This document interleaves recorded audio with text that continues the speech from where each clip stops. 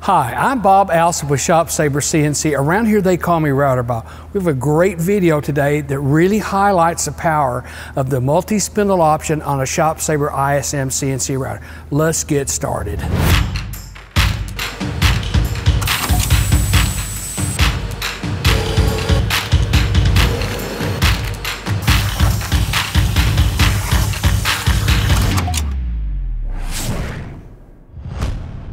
The ISM series represents our highest level of technology at ShopSabre, and of course they're part of our machine tool grade router group. Here's what that means. It means the base frames are structural steel, all welded single piece.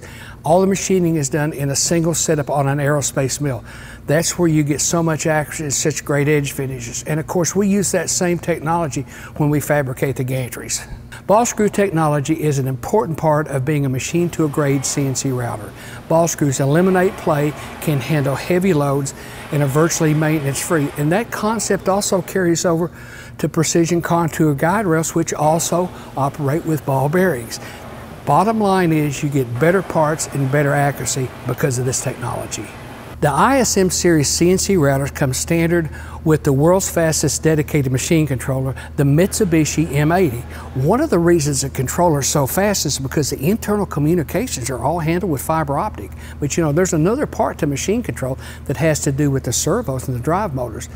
The closed loops digital servos actually have glass encoders that supply a million counts per revolution with that much data available and the speed of the control, you get really, really high performance on the machine and you get extreme part accuracy.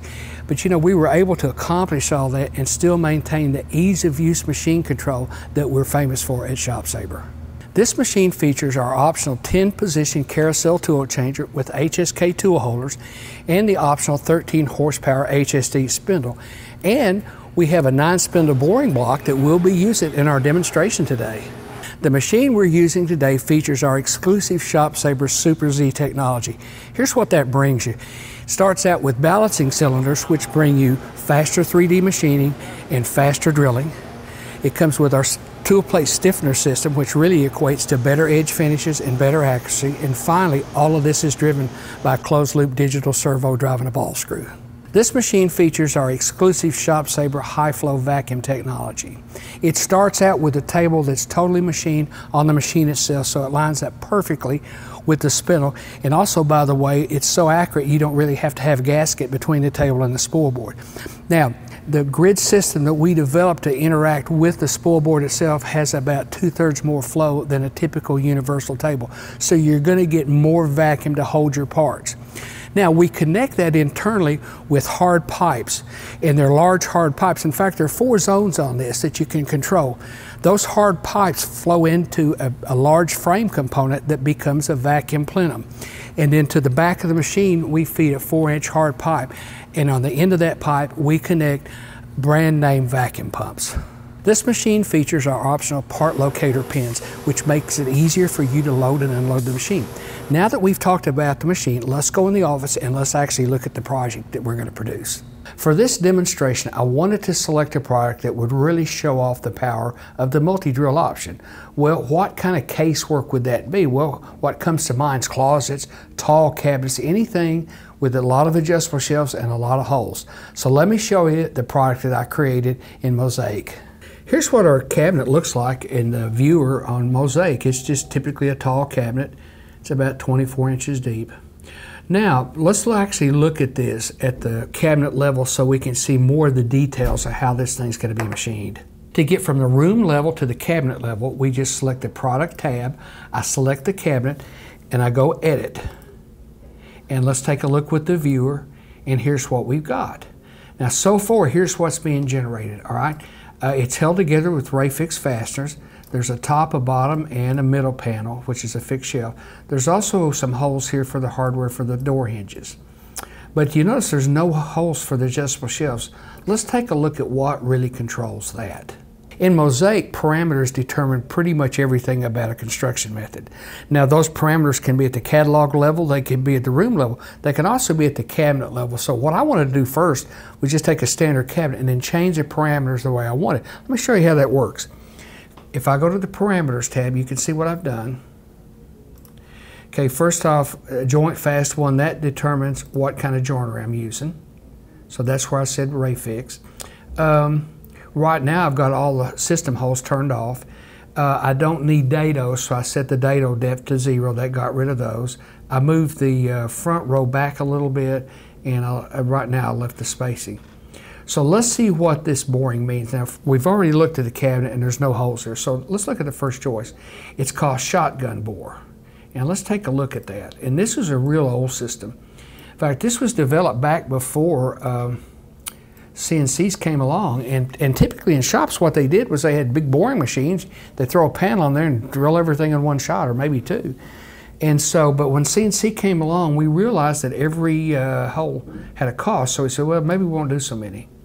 Now, a variation of that also is, uh, is a series of holes, and if you look at that, they're just spaced differently, but there's still lots of holes, a lot of holes you don't need. When CNC came along, we had the ability to be much more specific about it. So here's a, one of the options is uh, one hole per shelf, and if you look really close, you can see it.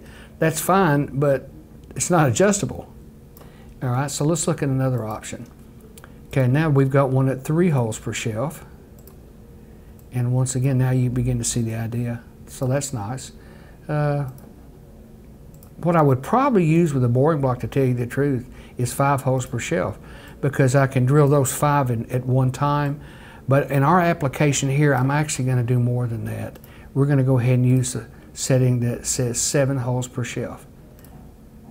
So that's what we're going to create for our project. So now, the reason I selected seven is because I wanted to show you drill optimization.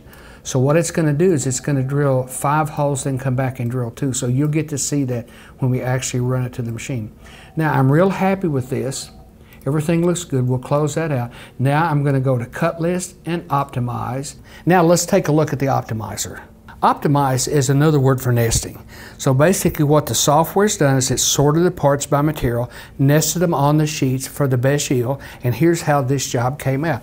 Looks like it takes three sheets. Let's look closer at that. Yeah, that's, that's a nice nest. There's one. You know, I like this first one the best. Here's why. First, you see how many holes there are. There's all your, that's the holes for the Rafixes. There's your adjustable shelves. There's the hardware. There's the groove for the back. And then these are these are fixed shelf at a top, so they have Rafixes, and then these are just two adjustable shelf. That's a really good nest. So I think what we'll do is we'll generate G-code for that nest. G-code is actually a programming language that the machine controls interpret to create the toolpaths that we design in the software. Let me show you how that's done. All right, we hit the Generate G-code button, and that brings this screen up, and we hit Calculate, and you see three toolpaths. One's multi-drill, One's pocketing, and that's for the groove for the back, and one's the outside. Let's take a look at that. Now, the, the software performs what's called pattern recognition, and, and what it really does is it, it looks at all the different configurations of the drill and it figures out how to do it the most efficiently. Now, when I hit simulate, you're going to see something.